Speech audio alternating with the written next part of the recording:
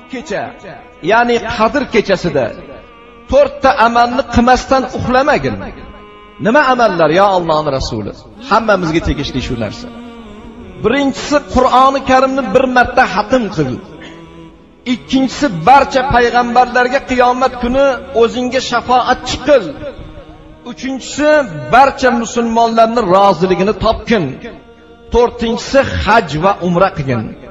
Shularni aytganlaridan so'ng rasululloh sollallohu alayhi vasallam xufton namozini o'qishga kirishdilar. Namoz tugaguncha kutdim. Rasululloh salom berganlaridan keyin so'radim ey ollohni rasuli otam onam sizga fido bo'lsin. Menga shu to'rtta amalni bajarmay uxlamasligimni aytdingiz. Lekin shuncha amallarni bir kechada qila olmayman. Bularni yo'lini ko'rsating. Shunda rasululloh tabassum bilan menga javob berdilar ey oysha aytgan amallarim sendan hech qanday kuch talab qilmaydi. Chorasi quyidagicha. Birinchisi uch marotaba ixlos surasini o'qisang ya'ni qul huvallohu ahadni o'qisang qur'onni xatm qilganchalik bo'lasan dedilar. Ikkinchisi menga va boshqa payg'ambarlarga salovat aytsang bizlar senga qiyomatda shafoatchi bo'lamiz. Uchinchisi mo'min birodarlaring uchun Allohdan af tilasang ularni hammasini rozi qilgan bo'lasan. Namozda aytadigan salovat allohimma solli ala muhammad va ala ali muhammadni aytishlik jami o'tganlarimiz atrofimizda yurganlarimizni gunohini xudodan so'rab mag'firatini so'raydigan bo'lsak barcha odamlarni roziligini topgan bo'lar ekanmiz.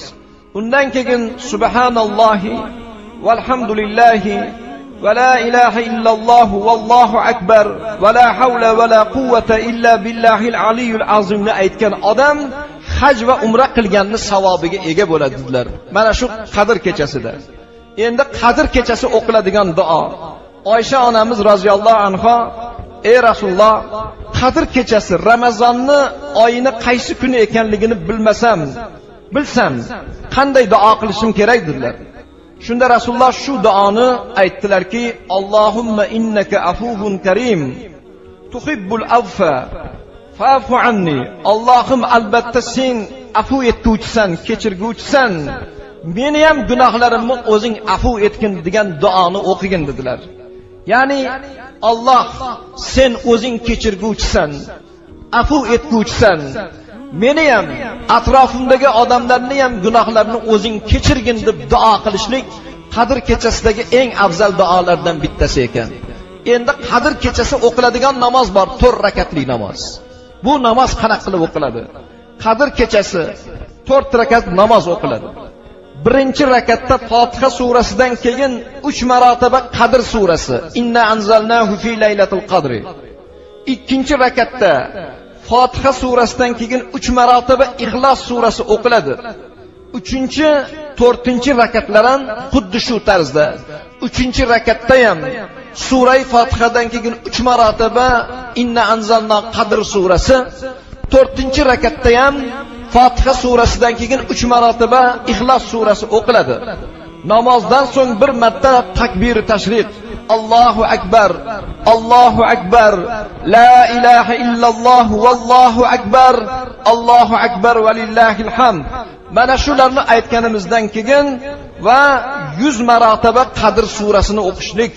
100 marotaba qadr surasi o'qilgandan keyin hali aytganimizdan keyin 100 marotaba alam Nashrah surasi. Alam Nashrah laka sadrak.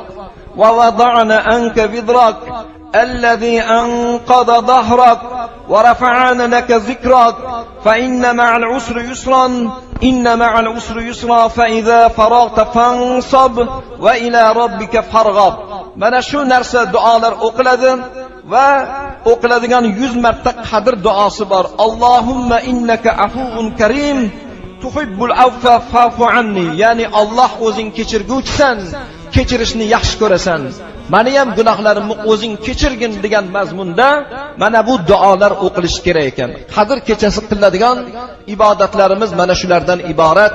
Ya'ni hazrati oysha onamizga janob payg'ambarimiz buyurgan ekanlarki qur'onni hatm qilishlik uch marotaba sura ixlosni o'qigan banda qadr kechasida qur'onni hatm qilganni savobiga ega bo'lar ekan.